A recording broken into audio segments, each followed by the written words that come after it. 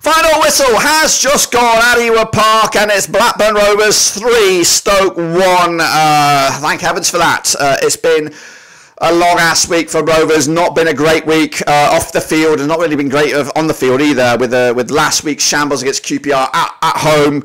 Uh, being uh, JDT's last match at, in charge. Today was meant to be the start of a new era. John Eustace was in the was in the stands, not necessarily uh, in charge of the game, but had a big involvement towards the back end of the game as Rovers held on tight for a 3-1 victory. Damien Johnson was in the helm as long alongside David Lowe uh, to steer Rovers uh, today, and they did a fantastic job. Of course, 3-1 win. The football was good in the first half as we took a, a convincing convincing lead, uh, uh, 3 0 up uh, at one stage before of course, Niall Ennis, which which uh, for Stoke now, uh, pulling on the, the, the, the, Stoke shirt, scoring his first goal for Stoke, of course. Uh, we'll talk more about that in a minute. But 3 0 up, half time. Tyrhys opened up nice and early, seventh minute to give us a, an early lead. Szmodics then got his 18th goal of the season uh, to retain that uh, outright goal scoring uh, lead in the Championship to make it 2 0.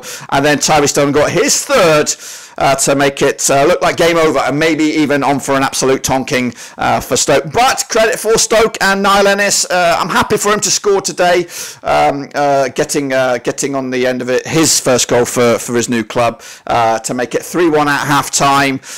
second half was very much all Stoke. Stoke were, were, were coming at us, kitchen sink job. so credit for Rovers' defensive unit there. And in fact, it could have been a very much different scenario as Stoke had a penalty uh, uh, given. Uh, Callum Brittain, no, no, no, no fault. Well, there was uh, definitely a penalty uh, result there. Brittain bringing the man down. Uh, up step, Dame, matey boy, David Johnson, or whatever his name is, of course, formerly of Preston, very much a Achilles heel or an arch nemesis for Rovers over the years. Has a chance to put Stoke right back in it. But up steps Aynsley Pears with a monstrous save to deny Stoke what would have been a pathway into this game. they would have ridden right back in this one. Uh, but no, uh, well done, Pears. Big, big shout there. A couple other chances for, for Stoke to, to get right back in it. But uh, all in all, Rovers held firm. So let's give some uh, uh, big ticks in the box for the defensive unit. McFadzean coming in for his debut was a, a, rock at the back alongside his old buddy Dom Hyam. Might not have got the legs and might have got found out a little bit uh, in some areas, but was a, very much a commanding force at the back. He was even he even left this field with a bandage across his head, showing that already that he is, playing for the badge. Uh, so great performances from Callum Brittain despite the penalty. Ryan Hedges was, was back and was uh, is uh, very much uh, uh, best, not necessarily attacking, but just organisational for, for, for Ryan Hedges. It was a key um, movement in the driving force. Sam Gallagher as well didn't get on the score sheet, but was was a key part. Of course, Tyrhys Dolan with a couple of goals. So let's let's let's look at, at this performance. Hopefully, as a as a as a turning point for Rovers' season. Uh, and and and I want to I want to harp on about the fact that JDT left last week. Of course, it looked like, uh, or it feels like, a lot of the fan bases were, you know, it's it's with heavy hearts. You know what I mean? It's not like we're we're we're happy to see the back of them.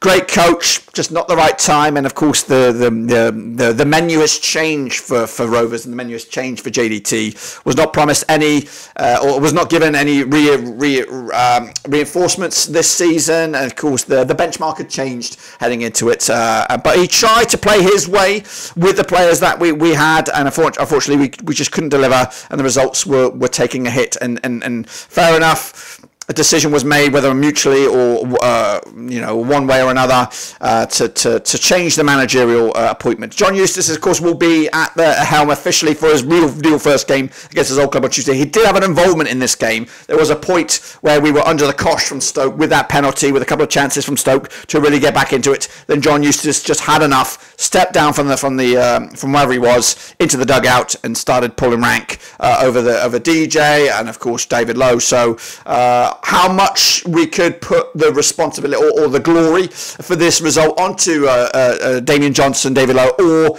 you know, does John Eustace get any credit, if any? What I, what I can say was one, John Eustace stepped forward the attacking threat seemed to be less uh, of a priority, more of a defensive thing. So maybe we were, and again, that is a, an area of concern for us. We've scored goals today. This is our six. We scored six goals in total against Stoke over the course of the season, but three goals today. We've got that attacking threat, and the defence is our major concern. So maybe, maybe that's what uh, the was was was the the, the, the, turning point for for Eustace coming down. We've got to stop this. Of course, Stoke scored last, uh, sort of just before the break, and of course had a penalty shout in the in the second half, which could have made this a very different scoreline. So, you know, uh, defensively, we were much much better second half um, uh, than we have been for, for a good part of the season. But anyway, that is it. Of course, we look forward now to Tuesday when we take on Tony Mowbray and Birmingham, and John Eustace officially taking over the reins in that game. Uh, it'll be interesting to see how we get on, and of course, we've got a big week ahead with Preston not too far away. But please subscribe, subscribe, subscribe. Your one-stop shop for the uh, Rovers continues here, of course, at the channel, and we look forward to seeing uh, maybe a vlog from Jacob, maybe some fan reaction. Of course, we'll see all about that. But until then, I'll see you soon for the next one.